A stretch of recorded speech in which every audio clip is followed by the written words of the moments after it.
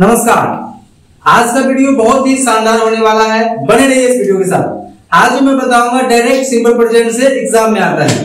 अगर आपके पास ये सब वर्ड आ जाए, जैसे आपके सेंटेंस में सिंपल प्रेजेंट टेंस की टेंस इंडिकेटर भी कहे जाते हैं। इट मीन की ये वर्ड अगर उस सेंटेंस में आ जाता है तो आँख मून के भी वन या V5 का प्रयोग करते हैं। इट मीन की सिंपल प्रेजेंट टेंस में बनाते हैं। चलिए देखते हैं इनके साथ। सबसे पहला वर्ड है एवरी एवरी मीन प्रत्येक।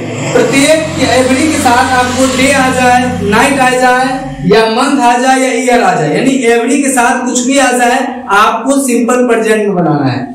ऑलवेज मतलब हमेशा अगर कभी भी सेंटेंस में आ जाए तो आपको सिंपल प्रेजेंट बनाना है। उस तरह से ऑफेन मतलब पुनः नेवर मतलब कभी नहीं, और फ्रीक्वेंटली मतलब अक्सर कभी भी आ जाए सेंटेंस में तो आप उसको सिंपल प्रेजेंट में सोल्व कर दीजिएगा, ठीक है? शर्डम मतलब शायद ही कभी, और रेयरली मतलब शायद ही कभी हेबिचुअली मतलब आदत से लाचार जनरली मतलब सामान्यतः यूजुअली मतलब अधिकतर कॉमनली मतलब सामान्यतः एक्सेप्शनली मतलब अपवाद स्वरूप समटाइम्स मतलब कभी कभी।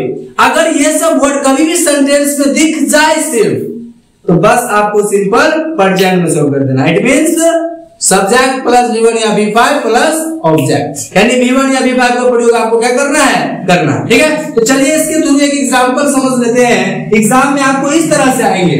जैसे I always dash up at five A M अब यहाँ पर आपको दे दिया है, आपको हिंदी नहीं जाननी है, नहीं पता है, कोई बात नहीं। आपको जब कभी भी ये सब वर्ड दिख जाए, ये टेंस इंडिकेटर है जो कि सिंपल प्रेजेंट में ही बनता है इस टाइप के वर्ड वाले सेंटेंस ठीक है? तो आपको ध्यान रखना है तो आई ऑलवेज यहाँ पर दिखा गया ये क्या है यहाँ पर? ऑलवेज तो मैंने यहाँ पर क्या दिया था? ऑलवेज तो आपको अभी मैंने बताया कि सिंपल प्रेजेंट में सोल्व करना है। तो चलिए सिंपल प्रेजेंट का फॉर्मूला होता है सब्जेक्ट प्लस डी वन या वी फाइव प्लस ऑब्जेक्ट तो चलिए, आपको इस फॉर्मूला को ध्यान रखना है डी वन या डी फाइव ध्यान रखना है।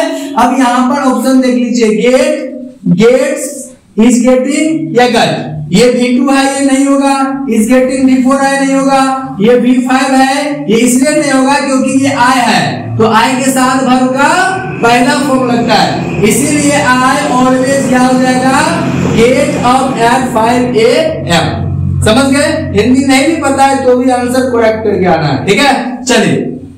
उनके बाद we dash to school every day यहाँ पर देख लीजिए एवरी के साथ डे लगा है। एवरी डे ईयर कुछ भी आ जाए, आपको सिंपल प्रेजेंट में सोल्व करना है। जैसे वी साइकिल या वी साइकिल या वी साइकिलिंग या वी साइकिल्स क्या होगा? पहले यहाँ पर सब्जेक्ट देखिए वी है।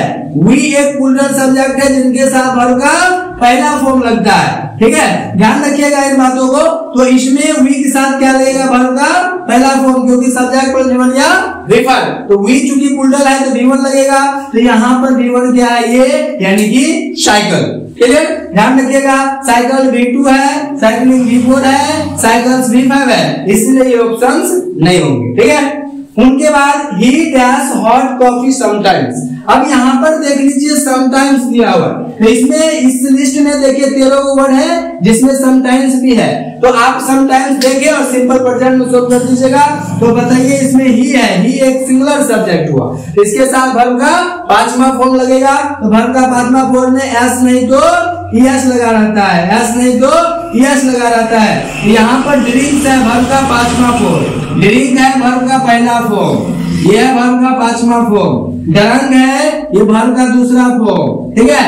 ये ये ड्रिंकिंग जो है, ये भर्व का चौथा फॉर्म अब आप बताइए क्या होगा? या तो भी फाइव नहीं तो भी वन, क्योंकि सिंपल परसेंट का ट्रांसलिकेटर है। तो यहाँ पर आपको ध्यान रखिएगा कि यहाँ पर सब्जेक्ट के अनुसार सब्जेक्ट यहाँ ही है, ही एक सिंगुलर नंबर में आता है, इसीलिए भर इसमें क्या लगेगा?